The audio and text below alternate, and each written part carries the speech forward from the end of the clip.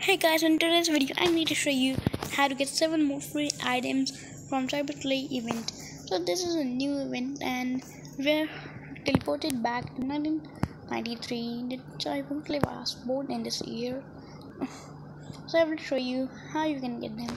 So here is clothing. So the first one is tie-dye shirt with a Chipotle sign and doodle bandana pepper choker spoon shade um, cheese this time um, foil fanny pack and last is guac so i'm show you how to get every item. So first you have to go at here. So okay so here is it. So you can see a guy here you have to talk to him.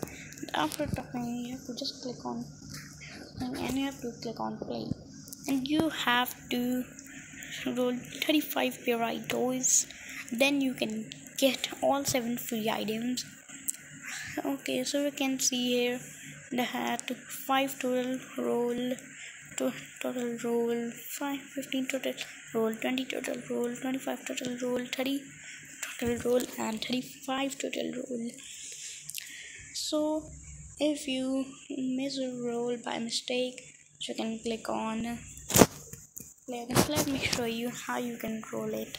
I will also show you how you can make rolls. So here we are and a customer will come and he will say everything what you want. Okay so we need 35 bright burritos okay and now oh. now this. Here you go. Now you have to roll it. Now it's roll. Uh, and so let me show you if you miss a roll by mistake so how you can continue it. So i'm leaving it so wait. So I will miss every roll to show you.